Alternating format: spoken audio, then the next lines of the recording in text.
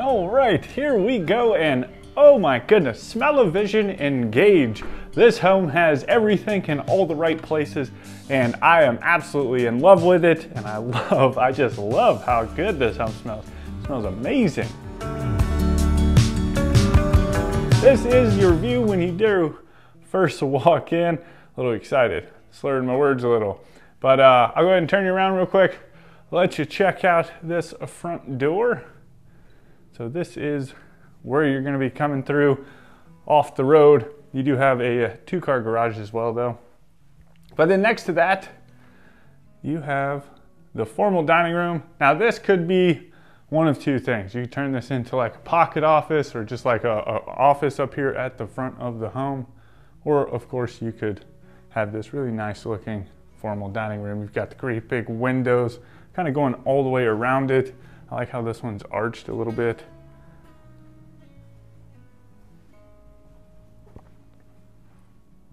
You've got a little area over here just next to the stairs. You can put a little bit of decorations along this wall. Just the foyer itself, very inviting, very appealing. And then to the right hand side, you've got the stairs going up to the second floor. And actually, since we're here, we'll go ahead and do that. That way we don't have to come back to it later on. Check out all of the goodies up here. Now, with this one, it's set up with five bedrooms upstairs, but uh, you could bring that down to four uh, if you wanted to, or the way that the fifth bedroom is set up could be a secondary master suite if you wanted to do that. I think in this one, it's currently set up with a Jack and Jill, but nice little kind of loft area up here, another little TV space. You got a little media center, a little desk over here looking out towards the front of the home. Got some nice built-ins on either side. And then next to that, this is one of the things that I love about this home. It's got a little balcony up here. So you could always come out, put a couple chairs up here. Just kind of enjoy the view this brick color looks nice too.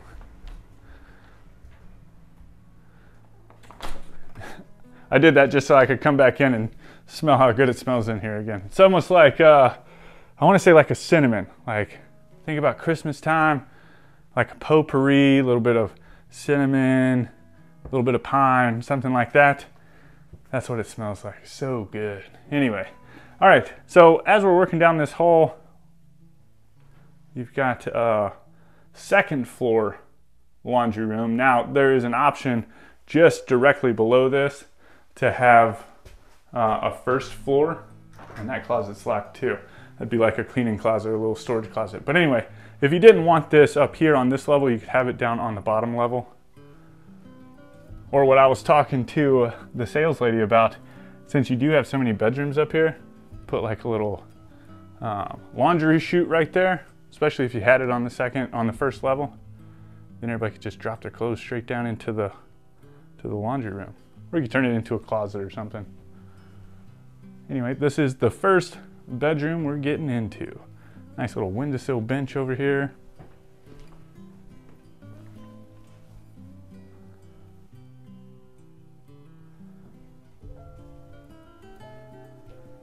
And then into the Jack and Jill. Now I'd have to look at the plan to actually see which of these rooms uh, would be the secondary master if that's what you wanted to go with.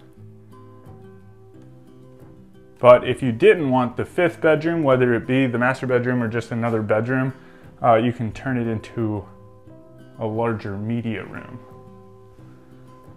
So you got shower and tub combo with the tile surround and into the other half. I think this uh, this vanity is a little bigger. But then you come into the second bedroom. All of them are great big sizes though. This one sits towards the back of the house.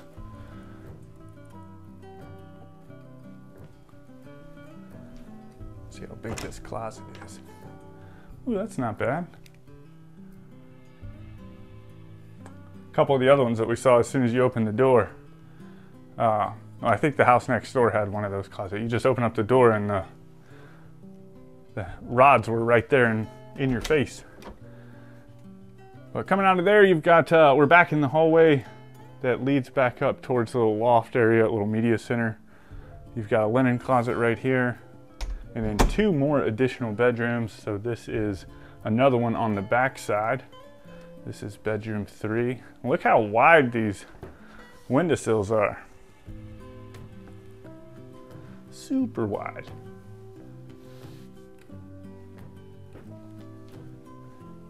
Into its closet. I think this is the, yeah, see, this one's a little tighter.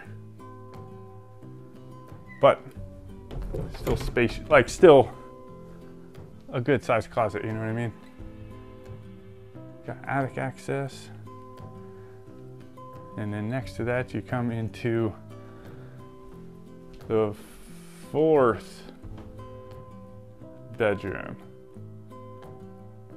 I lose count sometimes. Oh, that's what it is. Maybe it's this one is the one with the media center, so there's no secondary. I was just thinking about it over in my head. And this closet's the same as the other one. So I think there's only four bedrooms up here in this current model. But know that you could have a fifth. I don't think we're missing anything. But then you also have a nice little hall bathroom right here, which services these two bedrooms. Got the double vanity, and then you've got the water closet back here. The shower and tub combo, and the toilet. All right, now from here, we can go get into all the good, good stuff. We got all the bedrooms out the way. And as we're working downstairs, you know, if you are interested in this home or any home that we've toured across the country, because we are traveling from coast to coast, uh, we go all over the place. So you can find all that information by clicking the link right there at the top of the description for this home, or you can go to timothyplivingston.com where you can search all the homes. You can watch the tours. You can filter them down for homes that meet your specific uh, needs. So definitely a cool little resource and it is all free. So this uh, little hall tree right here sits just across from the garage. But interesting note, this also sits right below the laundry room upstairs. So if you had the first floor laundry room, this would be your access point and you wouldn't have that hall tree right there. And then this is the two car garage.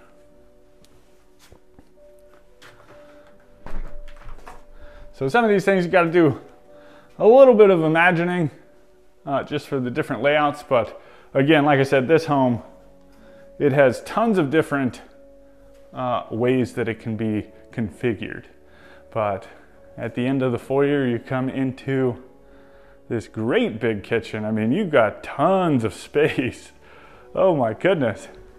You might want to, you got an island over here, but you might want to get yourself another little, little mini island in the middle just to kind of boost that, that counter space.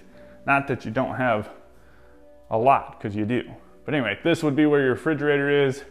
Cabinet's not quite going all the way up to the ceiling, so you put a little bit of decorations up there. Got the gas stove built-in microwave. Nice wood adjustable shelves. Not soft close, but I'm sure that's something that you could upgrade to if you wanted to. And then look at this big old kind of buffet area. And you could get down with some Thanksgiving dinners on this thing. Got outlets going all the way down it. Ooh. And then here up underneath of the stairs, this is kind of a cool place to put it. You have your pantry. So tons of space right here and then it kind of wraps around where it's actually up underneath of the stairs. So you could probably put a few things down there. And then on the opposite side, you've got this fun kind of corner island, I guess is what it would be. And they got some masks everywhere. But you got the dishwasher, nice undermount sink looking out into the living room. There it is, there's the culprit. Whatever you are, you smell amazing. And then you've got some space for some seats over here on this side. Then next to that, this is like your little breakfast area, your little less formal dining room. Unless you nixed the other dining room and turned it into an office, then this is your dining room. Got some windows all over the place. And then you've got access out here onto this back patio. Now this home is a lot bigger, but its patio is a little smaller than the, we just came out of this one right here, uh, which had a little bit bigger patio area, but you know, a nice space. You can put a couple chairs out here, put the grill, little fire pit out back if you wanted to, just kind of hang out. But then next to that, you've got the living room, fireplaces galore.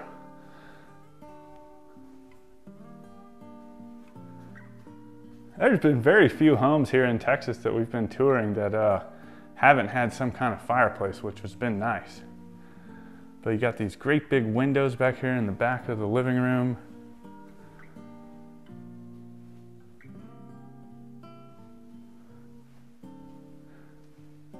Big old stone surround. Big old thick mantle. And then just off of kind of the kitchen area in between that and the living room, I'd say. You've got a little half bath, little powder room. So you've got the pedestal vanity and the toilet. And then you've got these double doors that come into the master bedroom. So really pretty. I love how they match the carpet with the accent wall. That's pretty neat. I wonder which came first. I'm just kidding, I know which one came first. This is fun too. Nice little lanterns. Just got to get those decoration ideas, you know what I mean? And then you've got the windowsill bench, great big windows over there as well. And then into the ensuite. So you got a great big garden tub right here, kind of glazed glass picture window, got the double vanity. So we'll open these, if, again, not soft close, but something you could spend a little bit more money on and get. And then you've got this nice standalone shower, got the shower head, tile surround, got a little bench back here.